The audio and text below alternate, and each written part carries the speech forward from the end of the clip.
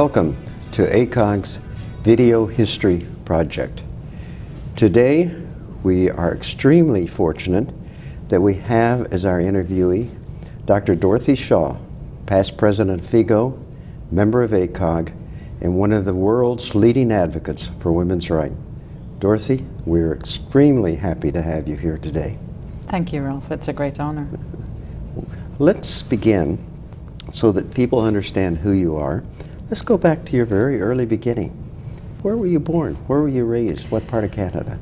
Well, I wasn't born and raised in Canada. I was born and raised in the UK. And, uh, and at that time, um, it was, I, I think I was really quite socially sheltered, both as a child and even as an adolescent. Went to university in Edinburgh in Scotland. And, um, and always had a really strong sense of social justice from a very early age, and that sort of manifests itself during teenage years. Um, but I never really thought of myself consciously as an advocate or a political type person until quite a bit later in life. Um, and uh, it was during my uh, years as a medical student in Edinburgh where I began to see things that um, probably didn't register uh, at the time uh, in a way that they have registered since then. So, um, for example, I, uh, as a medical student between our preclinical and clinical years, my very first clinical experience was in Montreal. I traveled as a medical student to Montreal. And uh, I was green in every way that you could possibly imagine. And um, I remember my first uh, delivery um, was a little traumatic uh, because uh, I think the, the consultant that was um, supervising me perhaps didn't realize it was my very first delivery and uh, uh, expected me to be able to do things which I clearly couldn't. Um, and uh, so I remember that um, as being less than ideal. And then my first gynecological experience was with the chief resident at the time who took me to see a woman in emergency, a young woman, um, must have been in her early 20s. And this would have been in 1969. So it was right after uh, abortion and contraception were legalized in Canada. And uh, this woman, this was my very first view uh, inside a woman's body, if you like, um, and uh, doing a speculum exam in emergency, this woman had a huge hole in her upper vagina from potassium permanganate because she tried to induce an abortion. Um, and at that time, even though uh, the law had changed, it was far from accessible or even known to the public. And then um, it kind of built from there, and when I was back in Edinburgh doing more clinical work, uh, I recall that I was with a consultant in obstetrics and gynecology and the, seeing another woman, uh, and um, she was also uh, very uh, concerned about the fact that she had an unplanned, unwanted pregnancy. And, um, and the consultant had to refer her for a psychiatric opinion at that time so that she could actually uh, have an abortion. And, and I remember sitting there thinking, this is, this is really uh, not right. Uh, this woman is not uh, in need of psychiatric care, and there's something wrong here that she can't uh, more easily access the care that she needs. At that time, as I said, I was, uh, it was really sort of building somewhere in my conscious, consciousness, but uh, this would have been very early in the 1970s in Edinburgh, and it was a very uh, hierarchical, patriarchal system, and certainly speaking up or speaking out would not have been something that, uh, that would have occurred to me at the time. But clearly it, it wasn't something that I was about to forget. Then why did you decide to go into OBGYN? That's a really good question. Um, because of the experiences that I had, I knew that, uh, that I very much wanted to do either pediatrics or OBGYN. And uh, I did my, what was then an internship, um, six months surgery and six months medicine in um, pediatrically focused uh, areas. It was all pediatrics. And realized quite early on through that internship that although uh, it was, um, I've always enjoyed medicine, I, I, every aspect of medicine, but I knew that this wasn't the right place for me. And, um, and I knew, based on previous experience, that some kind of bridging between obstetrics and pediatrics was probably where I was going to find my home. And so, uh, in order to do more obstetrics training, uh, it turned out that um, Vancouver, where Molly Towell was um, the grandmother, if you like, of perinatology at the time, it was not even totally recognized as a subspecialty, was there, and uh, and um, I applied to come and do a residency in Vancouver for a year because that time it was possible, and uh, and so came for a year uh, to Vancouver with no intention of emigrating. Um, enjoyed the obstetrics very very much. I knew that I'd found my home, and, uh, and then went back to the UK to do more obstetrics. Um, and didn't settle down. As a woman in our specialty at that point in time in the UK, uh, there were two things really that uh, were very clear to me. One was that uh, I wanted women to understand what was happening to them and that they needed more knowledge about their bodies, about the changes that happen during pregnancy and delivery, and, uh, and from a reproductive point of view in general, and from their health point of view. And that clearly wasn't how the system was working, and yet I'd seen a different um, potential when I was uh, here. And I actually was in San Francisco as a medical student too, which is where we are now. Um, so I'd seen how things were able to be different uh, in a different system. And, um, and as well, I knew that, uh, that because I, um, I'm not known for being quiet, uh, fairly independent minded, uh, that waiting for the pyramidal system and um, really following uh, along, so to speak, until uh, I was able to be a consultant wasn't really going to work for me. Um, I needed to be able to uh, be freer to pursue the things that I thought were important for women. It was interesting that you mentioned potassium permanganate. I think if you surveyed every OBGYN in this, there would be less than 5% that had ever seen a case.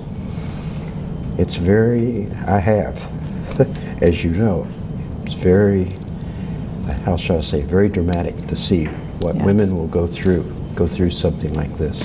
It really is. It's, uh, and in my, I mean, in my own clinical work, that's the only time that I've seen, uh, because things change so quickly, both in the UK and in Canada. Uh, it's the only time I've seen that uh, in my own personal work, but at the same time, um, in my travels around the world, um, I've certainly seen women who uh, were dying in public general hospitals because of not usually potassium permanganate, but certainly other uh, means that they had used in desperation to address uh, their own personal life situation of this unwanted pregnancy. And I think, you know, it's interesting. Um, I I have to admit that at some stage, and when I was a resident early on in my career, I was uh, even though I was very pro-choice even then and very supportive of women's right to access abortion, um, I, I also uh, was sometimes a little, uh, what's the right word? I wasn't always uh, fully supportive of everyone's decision, uh, if you will, when I could see that there was a couple that was engaged and they were in university, for example. I remember that very clearly because I learned from it. Um, I did actually try and persuade them, if you will, to continue the pregnancy because they said, well, it's not the right time for us. And, um, and I knew that there was never a right time uh, for a pregnancy. Um, and at the same time, you know, if people loved each other and clearly they were planning children later, that maybe they wanted to rethink that. And it wasn't, wasn't appropriate for me uh, to really um, to take that uh, approach, and um, I never did it again. During this period of time, obviously you had a number of mentors that influenced you. Who would you say were the most important? Oh gosh, that's that's a really good question. I have been blessed by many mentors along the way, um, and uh, I think that um, women and men, uh, and so I think it depends which area that we're thinking about. Uh, so I think that probably in terms of um, women's rights and uh, global women's reproductive health, it would have to be Mahmoud Fathalla. Uh, I was so fortunate, um, this was back in 1990, uh, Mahmoud, who, uh, no, sorry, 19, 1999, Mahmoud had uh, approached me to ask if I would co-chair a study group with him on women's sexual and reproductive rights as a result of the WHO FIGO Alliance who'd made the decision that this was the, the way forward. And uh, at that point, uh, with his stature and, um, and my interest, uh, it was uh, both a gift, uh, an honor, and an amazing privilege. It was uh, a very special time. And um, although he would never admit to me that this was intentional, for the very first meeting of this study group, uh, Mahmoud um, didn't arrive until lunchtime um, uh, of the day, which left me chairing the meeting um, until he arrived in the morning.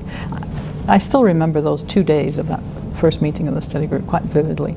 Uh, the people around the table were um, we had Rebecca Cook uh, from lawyer Anibal Faundes, um, Marianne Haslegrave from uh, uh, the Commonwealth Medical Association. I mean, there, there were people around the table from with such tremendous, diverse experience uh, about women's sexual and reproductive rights, the current status, particularly in the developing world, but not only, and um, and some ideas on how we could as a profession, uh, show leadership in um, moving forward the lives of women and uh, how, uh, through what could be done, uh, their health would improve and their lives would improve. It, it, was just an amazing opportunity.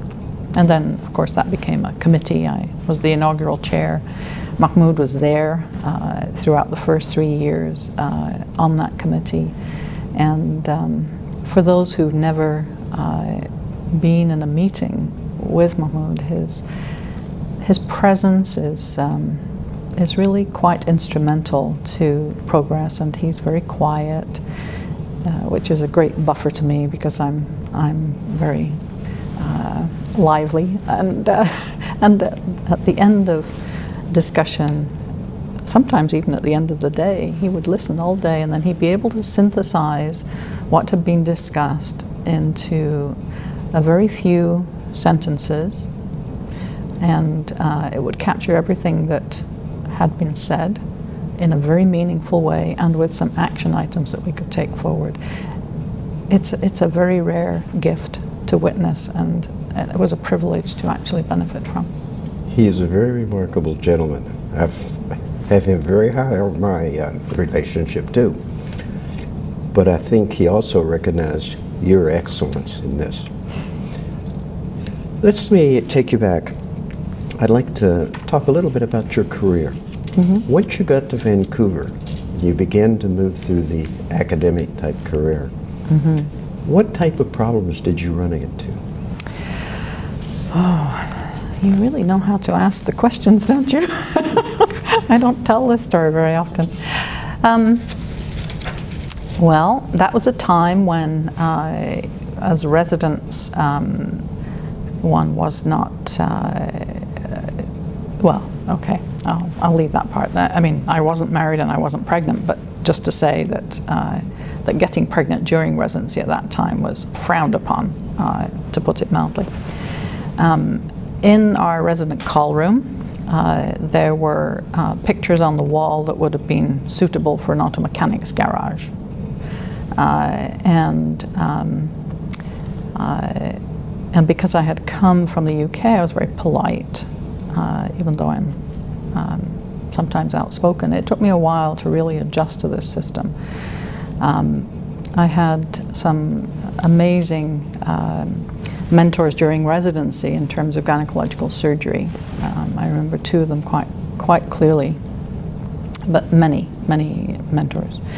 And, uh, and then once I finished my residency, um, and realized uh, fairly late during residency, even though I loved obstetrics, that actually I, I really quite like gynecology too, and I learned a lot from the gynecological cancer patients that I worked with. So um, I decided that I uh, was interested in medical genetics. I'd done an elective again that first year I was in Canada. And uh, so I did a fellowship in perinatal genetics and then had been promised a position back in Vancouver um, and uh, had nothing in writing. There was a change in heads um, while I was away doing my fellowship and uh, it was a little um, uncertain as to whether that promise was going to materialize. It did. Um, and then uh, I actually did not have very much mentoring in my early faculty career. Um, and we were building a new hospital and uh, the junior person in the faculty was always the one that was sent out doing CME around the province. Um, so I was certainly very busy clinically, education-wise, and on more committees than you can shake a stick at, but um, not receiving much guidance uh, about um, the key things that were actually going to get me promoted as a full-time faculty member. Um, I uh, had a cross appointment in medical genetics, uh, really enjoyed all of that. Um, and was uh, given information that I could take three months off and spend my time writing on leave in order to qualify for promotion. Uh, and that all the things that I had been asked to do uh, that appeared to be important and seemed to me to be important weren't going to count for anything. Um, so at that time I was a little, a little um, feeling a little disenfranchised, and so I decided that um, while I could have taken three months off and written, that um, if the work I'd been done hadn't been valued, then it wasn't clear to me it was going to be valued going forward, so I'd take a different path. So I, um, I ended up uh, um, doing some medical genetics, uh, continuing with medical genetic counseling, and uh, and did a little private practice for a while instead of the hospital-based uh, academic practice that I'd had. Um, so I, I, learned about what private practice was like, and uh, of course, because I've been doing only high-risk obstetrics up until that point, and um, uh, gynecology, that uh, that what was referred to me was all complicated. There were no easy consultations that were sent to me. It was always the pelvic pain, the, uh, you know, the, the, the, chronic things that are very challenging to deal with because of the things that I encountered. So anyway, um, I, uh, I then ended up uh, spending my time, uh, subsequently, I had three children somewhere along the way there, and, um, and so spent some time uh, a long time doing genetic counseling and, uh, and then prenatal diagnosis and ultrasound and ultimately gave up my, uh, my clinical obstetrics. I'd stopped doing gynecology, although for a while I had been providing um, both obstetric and gynecologic, gynecologic care to pediatric adolescent population, um, which was a strange thing for a maternal fetal medicine person to be doing, but it seemed to work. So so that was th that part of the career, and um, and then uh, it's interesting how the justice part, the, that thread continued because um, I uh, was headhunted um, for a, a, leadership role at the hospital uh, at the same time that I was president of our Canadian Society, and uh, um, the youngest Canadian president at the time. Um, and that all came about because of my propensity to ask questions.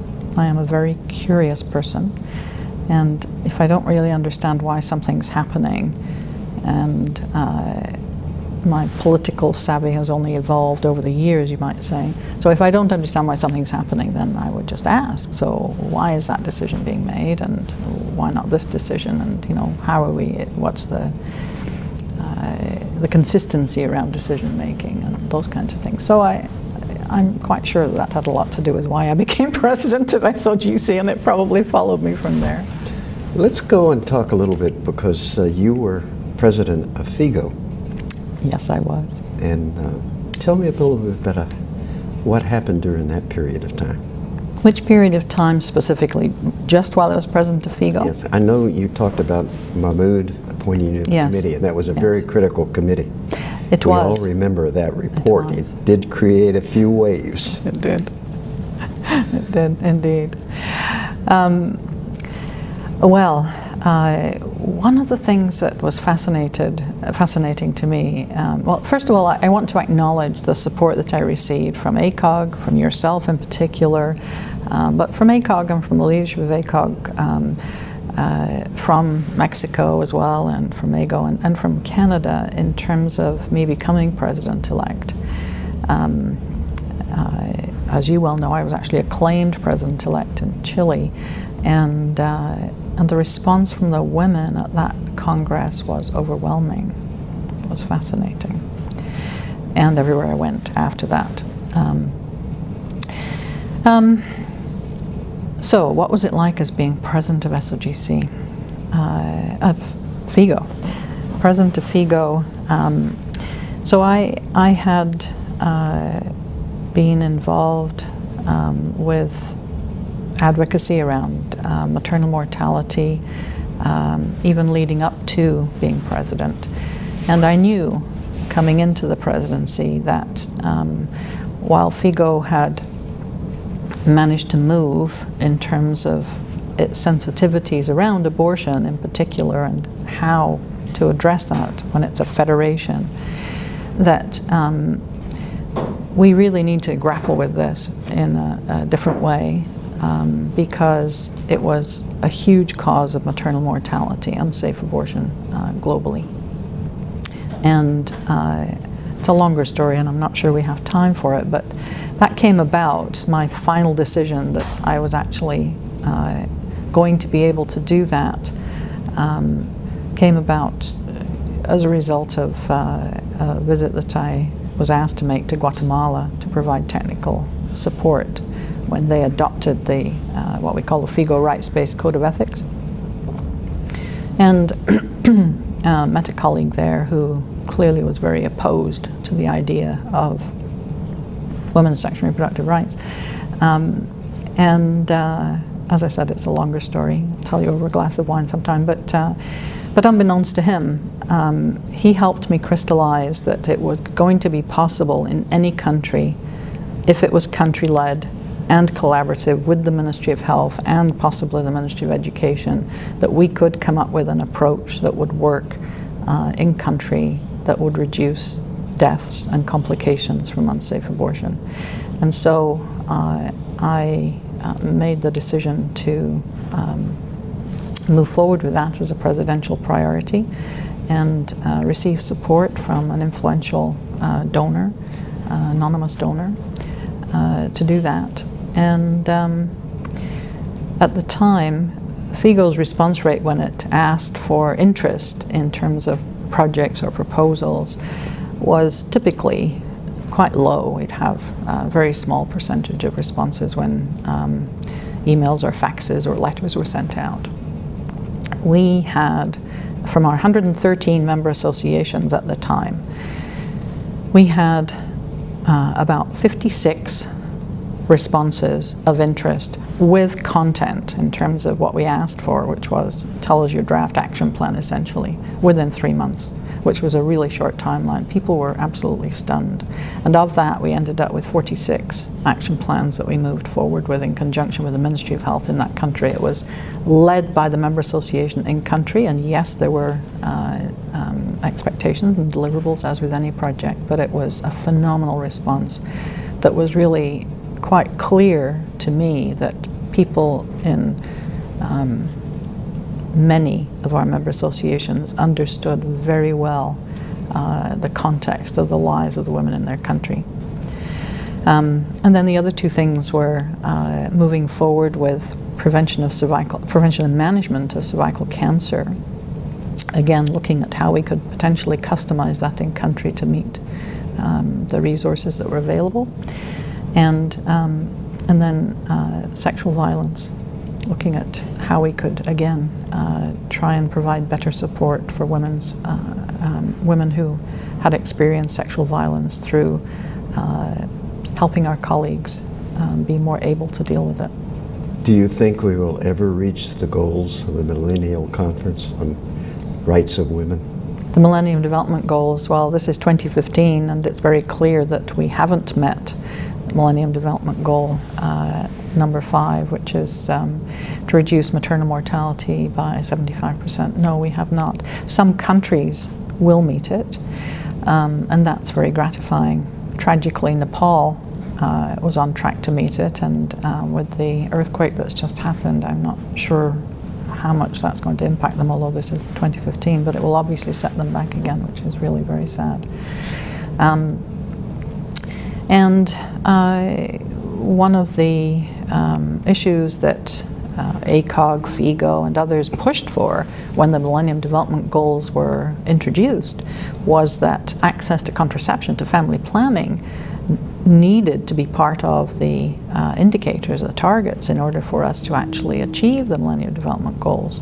And uh, it took us until 2007, halfway through, really, to actually get that added, universal access to reproductive health, of which um, contraceptive prevalence and so access to contraception uh, was recognized formally as something that needed to be part of our um, planning to reduce maternal mortality. It's, it's, impossible to do it without access to contraception. We know that unmet need for family planning is huge around the world. Um, a couple of years ago, it was 222 million women married or in partnership, who needed access to family planning and could not access it. They, that was their choice. They wanted it and couldn't access it. That's an unacceptable number. I agree with you. Well, Dorothy, I, would like to keep talking. You've got such a diverse background. You've done so many wonderful things. From sitting on the outside, I know that your uh, tenure as the president of FIGO upset a lot of people, but accomplished a lot of very wonderful things. And I think hope that more people will continue along your route. Thank you very much. As I said, we could keep here and talk for another half hour easily, but unfortunately our time is up. So again, thank you for willing to be interviewed. Thank you very much, Rob.